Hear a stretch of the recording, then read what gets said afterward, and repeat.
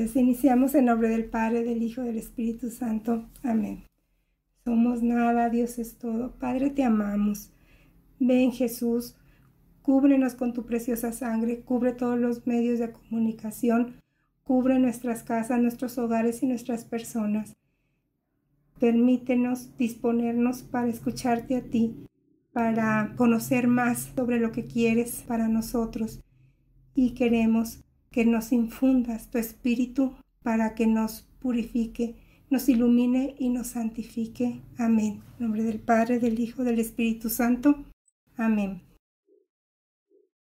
Para lograr el silencio, que es uno de los primeros pasos en este camino hacia el santo abandono, hacia la santidad perfecta que Dios quiere para nosotros, hay una serie de actividades que nosotros tenemos que hacer para ponernos en esa disposición que quiere de nosotros el Señor. Y parte fundamental pues es el silencio. Vemos que esto ha sido gradual, que va de menos a más, o sea, de silenciar muchas de nuestras actividades innecesarias de nuestra vida para centrarnos, para volver a ese orden a esa finalidad para la cual fuimos criados y va siendo poco a poco. Entonces, vimos varios pasos, hablar poco con las criaturas, mucho con Dios, silenciarnos en el trabajo, en los movimientos, el silencio de nuestra imaginación, controlar nuestra mente, el silencio de la inteligencia y de la memoria también para recordar solo cosas santas, cosas que nos nutren y que nos acercan a Dios el silencio de las criaturas, el silencio del corazón, el silencio del amor propio, de la vanagloria, del propio juicio, al silencio consigo mismo. Para llegar a esto tenemos un camino por recorrer que dijimos que es toda una vida. Por lo tanto, así como Jesús es misericordioso y es paciente, nosotros también lo vamos a hacer con nosotros mismos. Esto no quiere decir que nos abandonemos, sino que en cuanto nosotros nos cachemos en la distracción, volvamos a, ese centro, ¿no? del cual hemos hablado. Bueno, el que sigue, más arriba, todavía aún más, y donde Jesús es el propio modelo, es ese silencio de la voluntad. Y Jesús mismo se coloca como maestro y como modelo para nuestra vida. Y este silencio se refiere al silencio que él mismo se propuso sobre el altar. El silencio de este cordero que es, despojado de todo, que él mismo voluntariamente se despoja. E, él entra en esas tinieblas y inclusive impide esto que vea la luz eterna del Padre. Este es el silencio del abandono total, bajo la severa mirada de Dios, de Dios Padre, bajo el peso de su mano divina. Es el silencio sin más queja que el amor. Es el silencio de la crucifixión, que es más que el silencio de los mártires, porque es la agonía de nuestro Señor Jesús. Sí, este silencio es su divino silencio y nada más comparable a su voz. Nada, resiste a su oración. Nada es más digno de Dios que esta especie de alabanza en el dolor, que ese fiat bajo la cruz del inocente reo de muerte. Es el silencio de las angustias del corazón en los sufrimientos del alma del mismo Jesús, porque quiere salvar a todos y porque quiere que nadie se pierda, sin embargo, pues es rechazado. Mientras su voluntad humana, humilde y libre se entrega como verdadero holocausto de amor, se quebranta y se destruye por el nombre de la gloria de Dios. Él la transforma en su voluntad divina. ¿Qué es lo que le falta entonces para su perfección? ¿Qué le falta aún para esta unión? Solo dos cosas. La primera es el último suspiro de su ser humano, es decir, Él se entrega todo hacia una muerte y una muerte de cruz. La segunda no es más que una dulce atención al amado, que tiene por inefable recompensa el beso divino. Entonces Jesús se inmola en este sacrificio total de su humanidad, entrega su vida como rescate de la nuestra y lo hace en cada acto de misa, porque no es solo una mera representación de su pasión, muerte y resurrección, sino que Él, a través de su cuerpo, sangre y divinidad, se forma para darse en alimento que es vida para nosotros. Por eso nos dice, el que come mi carne y bebe mi sangre, permanece en mí y yo en él. Entonces Él, su humanidad, su voluntad humana, la entrega a nuestro Padre Dios como inmolación por todos nosotros, para hacer el rescate de todos nosotros, para ser ese eslabón que se había perdido cuando Adán pecó. Él lo vuelve a restablecer, pero no solo queda ahí, sino que Él quiere que nosotros tengamos esa vida que Él tiene junto a su Padre, y es una vida y vida en abundancia.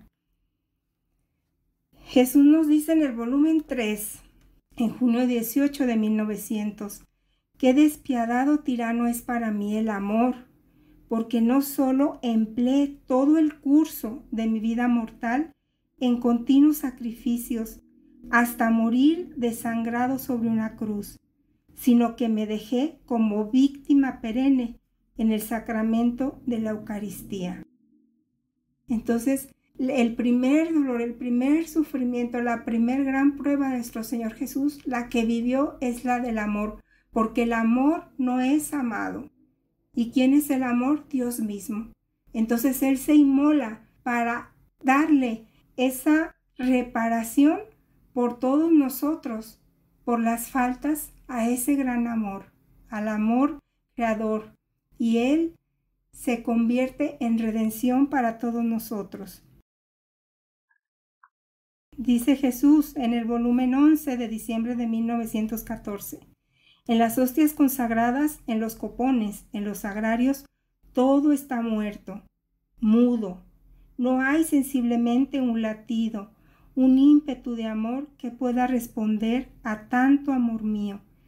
Y si no fuera porque espero a los corazones para darme a ellos, yo sería bien infeliz quedaría defraudado en mi amor y sin finalidad mi vida sacramental. Entonces, Él no quiere quedarse ahí en el sagrario. Él quiere ser alimento de nosotros. Él quiere que nosotros, nuestro corazón, nuestra alma, toda nuestra esencia, sea un santuario viviente. Y Él quiere quedarse allí. En otro de los volúmenes, Él se queja y Él dice, es que yo, al ser recibido por ustedes, yo no encuentro las debidas disposiciones para quedarme. Solamente pues estoy allí en lo que las especies sacramentales se disuelven y después yo me voy, pero al menos les dejo mi gracia. Entonces no dejemos de comulgar. Jesús se queja que está solo, que esa hostia es una materia inerte, no tiene vida. Nosotros sí tenemos la vida. Fuimos creados a su imagen y semejanza y Él quiere hacer vida perenne en nosotros.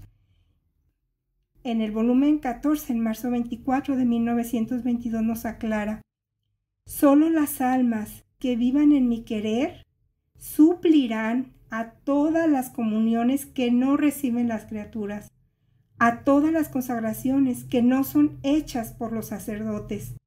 En ellas encontraré todo, aún la misma multiplicación de mi vida sacramental. Jesús anhela que nosotros vivamos en ese querer para precisamente suplir por todos, por esas comuniones que no se han recibido, por esas consagraciones que no han hecho los sacerdotes, suplir por todos y darle esa reparación completa y darle ese amor no correspondido. Bueno, Él se pone como modelo y Él quiere que nosotros lo imitemos en este santo abandono, ya que es requisito indispensable para dar la respuesta al llamado de dejar toda nuestra voluntad humana y prepararnos para recibir la posesión total del don de la divina voluntad. Entonces el don es un regalo para quien, para quien lo quiera recibir, pero una de las cosas necesarias es ese silencio para precisamente estar recibiendo toda esta luz divina de estos conocimientos de la divina voluntad, de estas verdades contenidas en el libro de cielo. ¿Y cómo lo hacemos? Pues mediante la lectura y la acción del Espíritu Santo, que Él nos va a ensanchar las potencias de nuestra alma para comprender este lenguaje, porque es un lenguaje de cielo. Entonces, están abiertas las puertas. Falta que nosotros queramos asumirlas. Y pues esto mismo sucedió con Luisa. Ya hemos comentado que es cabeza de misión y primero la entrena varios años en el santo abandono a través de la obediencia, del desapego, de la confianza, el trabajo de las virtudes siempre unida a Jesús, para después disponerla a recibir la grandeza de la vida divina. Todo esto lo vamos a desmenuzar en las charlas siguientes, porque ya vimos que es algo gradual, ¿verdad? Y Jesús le dice a Luisa que el alma abandonada es como una barquita en medio de un mar inmenso, que conforme navega, es decir, conforme hace sus actos por él y con él, se va llenando de la luz divina. Entonces, entre más nosotros estemos dispuestos a la lectura diaria, a la práctica de estas verdades que contienen el libro de cielo desde el principio hasta el final porque vemos que es progresivo sin saltar ningún volumen, nosotros vamos a ir dejándonos moldear por nuestro Señor Jesús para ir llenándonos de esta luz. ¿Qué tenemos que hacer? Primero, renunciar libre, consciente y voluntariamente a nuestra voluntad humana y ella se convierte en tierra fértil para que la voluntad divina tome posesión. Y así entonces ya no va a haber más guerra entre la voluntad humana, la voluntad divina, sino que van a ser como una sola. El que sigue es el silencio con Dios. Cuando estés en oración ante Dios, presta atención a que tu mente esté recogida. Expulsa de tu interior los pensamientos perturbadores. Asume el honor de Dios en tu alma. Purifica los movimientos de tus pensamientos. Si debes luchar a causa de estos, persiste en el combate y no cedas. Cuando Dios ve tu paciencia, entonces de pronto se manifiesta en ti la gracia y tu mente se ve fortalecida y tu corazón arde por el fervor, y los pensamientos de tu alma se iluminan, y quizá emanarán de ti intuiciones admirables sobre la grandeza de Dios. Pero esto solo sucede con mucha oración y un pensamiento puro.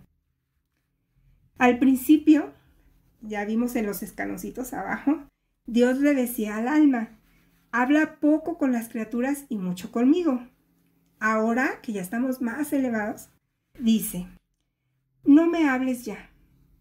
El silencio con Dios, ofrecerse a Él, adorarle, amarle, escucharle, entenderle, descansar en Él. Es el silencio de la eternidad, es la unión del alma con Dios. Pero este silencio no es pasivo, sino que nos eleva al seno de la divinidad para después descender a la tierra con una finalidad. Bueno, recordemos aquellas primeras charlas donde está el sol, ¿verdad? Y en está el seno de la Santísima Trinidad. Pues ahí nos va a elevar. Y Jesús nos lo explica en el volumen 14, en julio 10 de 1922. Hija mía, elévate, elévate más pero tanto de llegar al seno de la divinidad. Entre las divinas personas será tu vida. Mira, para hacerte llegar a esto, he formado mi vida en ti. He encerrado mi querer eterno en lo que tú haces, y ahí corre en modo maravilloso y sorprendente. Mi querer está obrante en ti en continuo acto inmediato. Ahora, después de haber formado mi vida en ti, con mi querer obrante en ti, en tus actos, tu querer ha quedado impregnado, transfundido en el mío, de modo que mi querer tiene una vida sobre la tierra.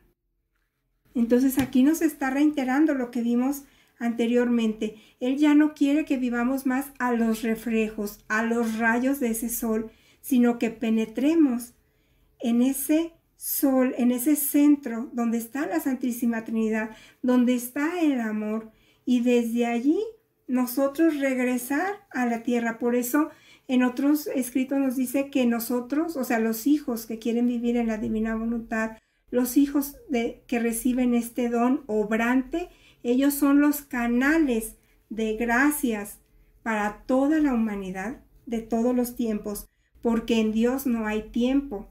En otro volumen le dice, imagínate que yo estoy en un punto de la eternidad y el tiempo está acá abajo para nosotros. Entonces así vamos nosotros a irrumpir en ese acto único y eterno de Dios. Todo esto lo vamos a ir aprendiendo en la práctica y lo vamos a ir comprendiendo más. Pero este es un silencio muy profundo, es un silencio perfecto.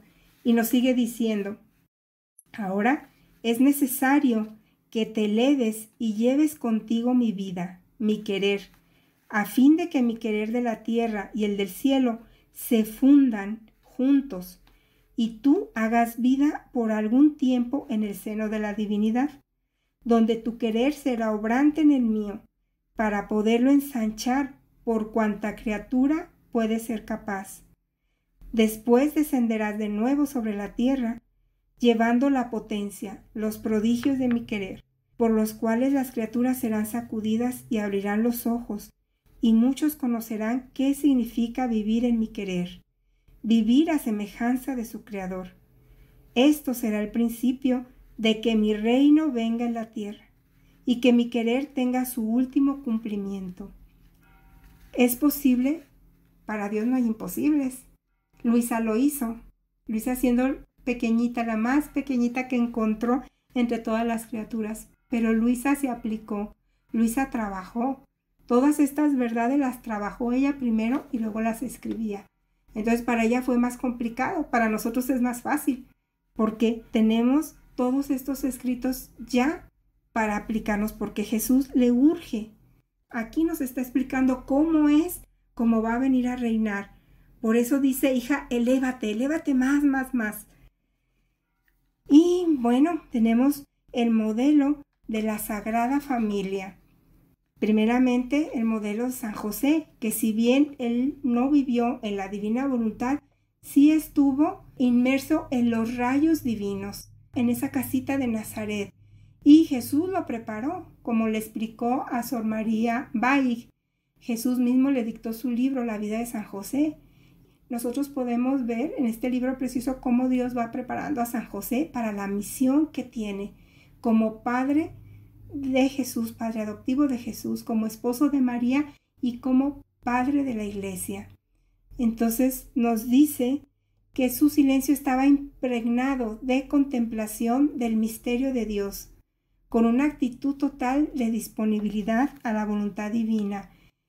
Él, por medio de su disposición para escuchar a Dios, de su contemplación, él sabía distinguir la voz de Dios, la voz de los ángeles, por eso cuando vemos en las Sagradas Escrituras que el ángel le habla, él inmediatamente se dispone a cumplir la voluntad de Dios.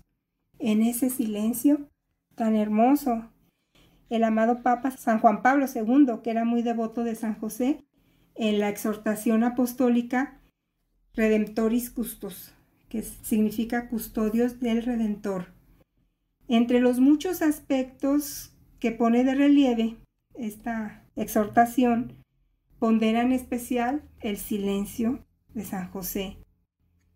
Este silencio no manifiesta un vacío interior, sino al contrario, la plenitud de fe que lleva en su corazón y que guía todos sus pensamientos y todos sus actos.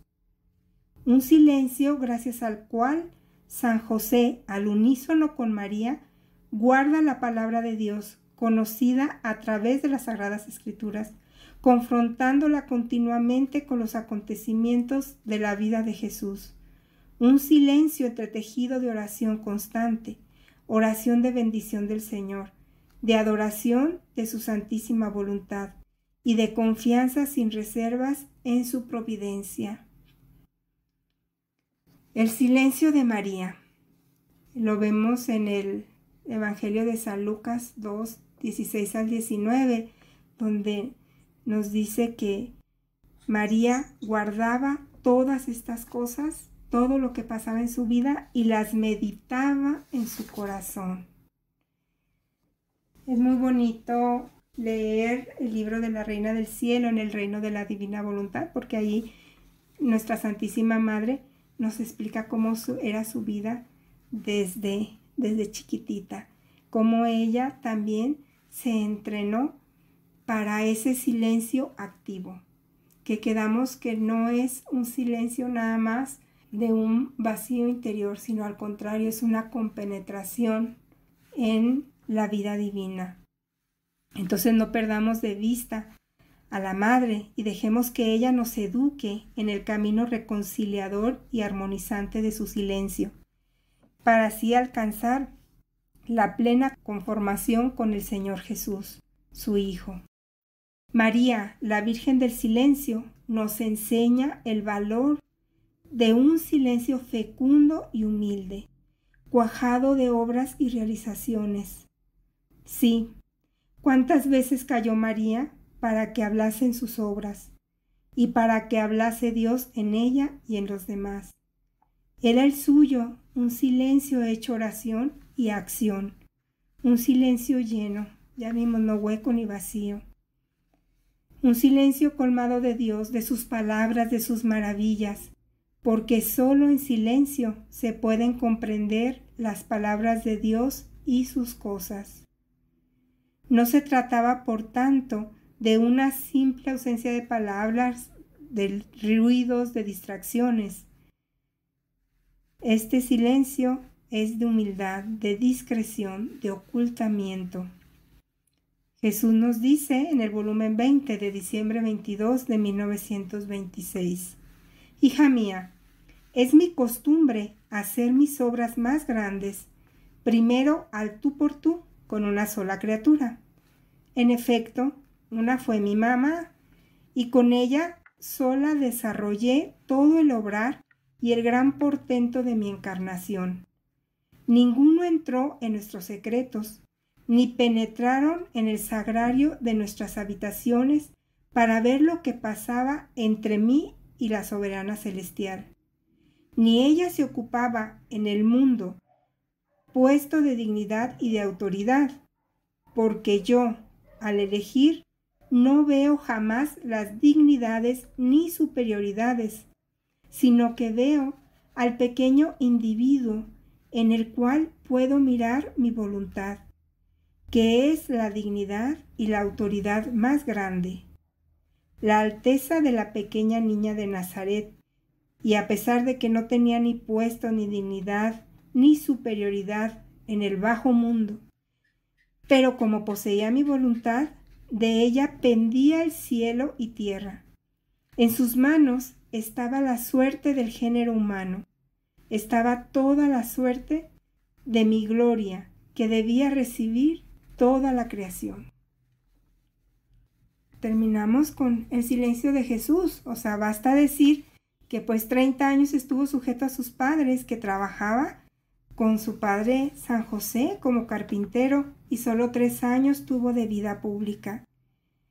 Y nos dice el mismo en el volumen 1, si trabajaba con San José para procurar lo necesario a la vida, era amor que corría eran conquistas y triunfos que hacía, porque me bastaba un fiat para tener todo a mi disposición, y haciendo uso de mis manos para una pequeña ganancia, los cielos quedaban admirados, los ángeles quedaban raptados y mudos al verme abajar a las acciones más humildes de la vida. Así mi amor tenía su desahogo, llenaba, desbordaba mis actos, y yo era siempre el divino conquistador y triunfador. Jesús nos hace esta invitación y Él toca nuestra puerta y nos dice en el Apocalipsis, mira que estoy a la puerta y llamo, y si alguno oye mi voz y me abre la puerta, entraré en su casa y cenaré con Él y Él conmigo. Si alguno oye mi voz. Entonces, para escucharlo, nosotros debemos callar. Y ya sabemos todas las formas en que nosotros podemos disponernos para escuchar su voz. Y el Señor es muy claro. Esta condición primera es precisamente escucharlo. Y si no lo hacemos, pues no podemos abrirle la puerta de nuestro corazón. Y ese encuentro definitivo con el dulce Señor de Nazaret simplemente no sucederá. Esta invitación la tenemos de parte de Jesús y si estamos aquí ahora escuchándole, es porque Él nos ha llamado, es porque Él quiere que se dé ese triunfo de su reino como lo hemos pedido por más de dos mil años en el Padre nuestro. Venga tu reino y hágase tu voluntad así en la tierra como en el cielo. Y aquí están los primeros pasos que nosotros debemos de entender y practicar para poder escucharlo, para poder abrirnos a este don, a este regalo tan grande que Él nos quiere dar. Bueno, pues vamos a terminar con un gloria para agradecerle por estos conocimientos tan maravillosos para ejercitarnos en nuestra vida y para hacer ahora sí el cumplimiento de su voluntad aquí en la tierra. Gloria al Padre, al Hijo y al Espíritu Santo, como era en un principio, ahora y siempre, por los siglos de los siglos. Amén. Nombre del Padre, del Hijo, del Espíritu Santo. Amén. En la divina voluntad, siempre.